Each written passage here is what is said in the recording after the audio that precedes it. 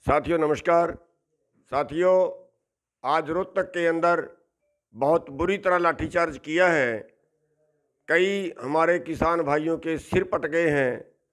कई किसान भाइयों की हड्डियाँ टूटी हैं। और मालूम हुआ है कि जो लठ मारने वाले थे, उनमें काफ़ी लोग सिविल के थे। कौन थे, पता नहीं है, लेकिन अति दुखदाई घटना है कि हमारे लोगों की तरफ़ से ना तो कोई हमला किया गया है, ना कोई उपद्रव किया गया है और वहाँ पे भारी लाठी चार्ज हमारे लोगों के ऊपर हुआ है। हालाँकि वो ज़्यादा गिनती में नहीं थे, लेकिन फिर भी उन्होंने लाठी चार्ज किया और बहुत बुरी तरह किया। तो उसके विरोध में कल पंचायत करनी है कि आगे हमने क्या स्टैंड लेना है, क्या फैसला लेना है। सुबह दस बजे मकड़ौली टोल पर, रोहतक में मकड़ौली टोल पर पंचायत रखी गई है सुबह दस बजे। मेरी आप सभी से बेनती है कि सुबह दस बजे मकड़ौली टोल पर हमारे भाई पहुँचे और वहाँ पे हम फैसला देंगे कि आगे हमने क्या रणनीति अपनानी है। सभी का धन्यवाद। जय हिंद। साथियों, नमस्कार।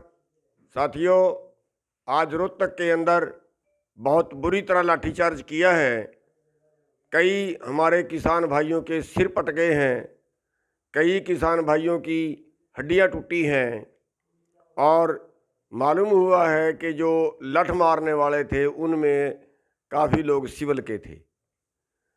कौन थे पता नहीं है, लेकिन अति दुखदाई घटना है कि हमारे लोगों की तरफ़ से ना तो कोई हमला किया गया है, ना कोई उपद्रव किया गया है और वहाँ पे भारी लाठी चार्ज हमारे लोगों के ऊपर हुआ है।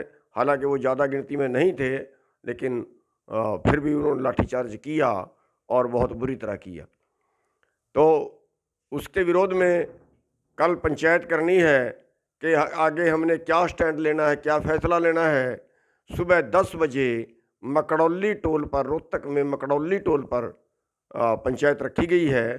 सुबह दस बजे मेरी आप सभी से बेनती है कि सुबह दस बजे मकड़ौली टोल पर हमारे भाई पहुँचे और वहाँ पर हम फैसला लेंगे कि आगे हमने क्या रणनीति अपनानी है।